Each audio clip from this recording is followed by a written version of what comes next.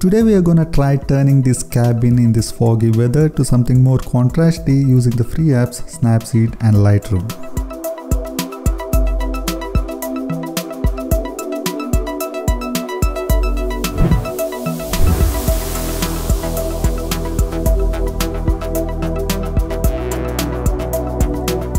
Opening the image in Snapseed, first thing I'm gonna decrease the highlights a bit for some details in the sky.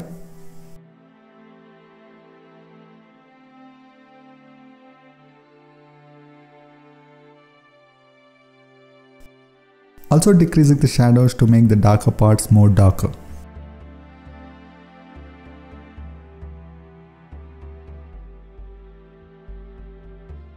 Next with the curves tool, I'm gonna try applying some contrast. Hot contrast preset is more suitable for the look I'm going. Now for some selective tuning with the selective filters. First one on these greens where I'm gonna make all the vegetation in the foreground more desaturated.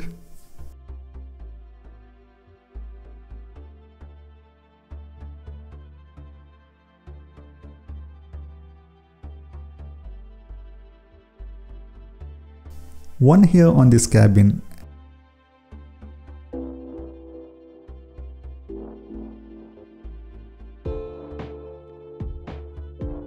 Adding some saturation.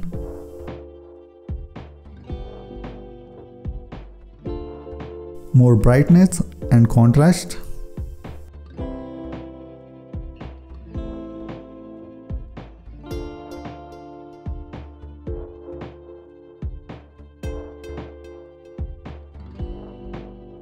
copying the same and applying on other parts of the cabin.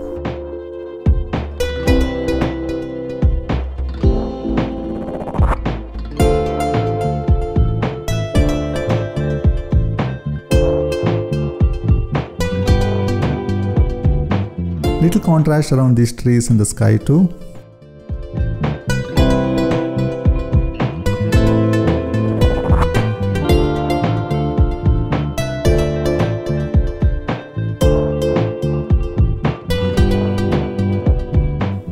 Using the curves tool, I'm gonna first darken the image by dragging the top point a bit down.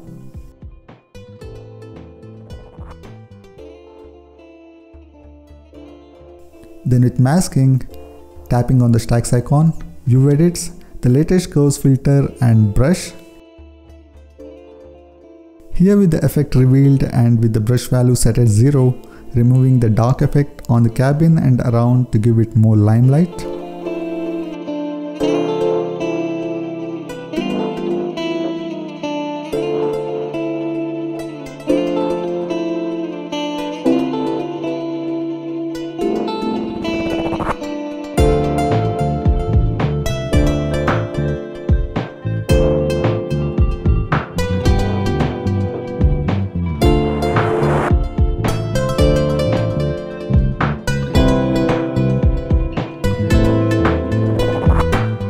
Applying this. Next I'm gonna try to get little more details from the sky by selecting hot contrast preset in curves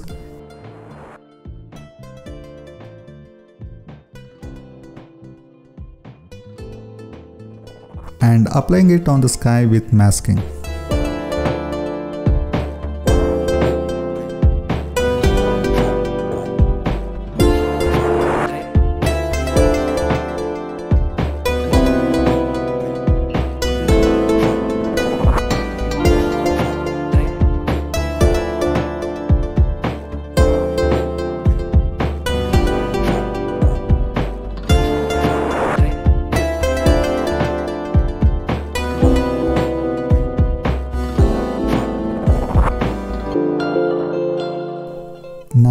Details menu adding some structure to the image.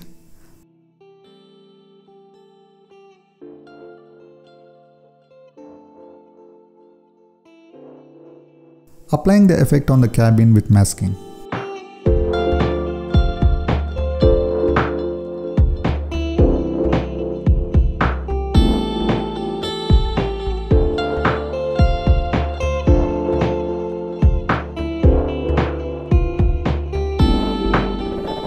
Give the image more pop and color, exporting the image to the Lightroom app.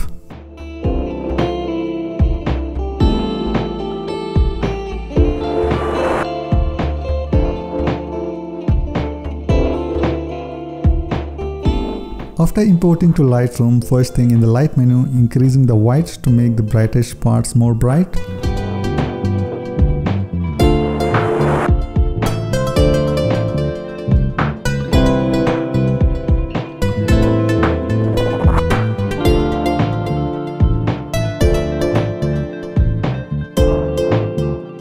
Also reducing the value of the blacks. This gives the image more punch. Moving to the HSL sliders in the color menu mix. Moving the green hues just a little towards aqua. Then desaturating the same. Now to the yellows. Dragging the slider towards orange to give the yellows some orange tint. Looks too saturated so reducing it a bit.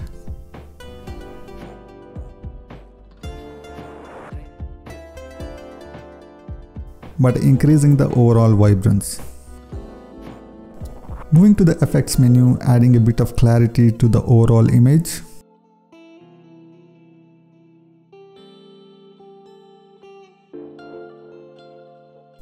Now to the detail menu. First moving the masking slider with two fingers to get some selection here. The sharpening effect applies only on these white parts. Now adding sharpening. Going now to curves in the light menu. Applying some contrast here by darkening the shadows. Brightening the highlights.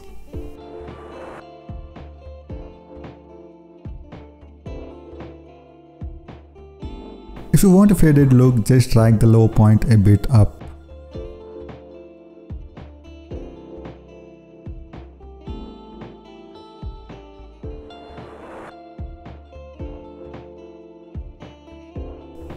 So here's the final look. Thanks for watching.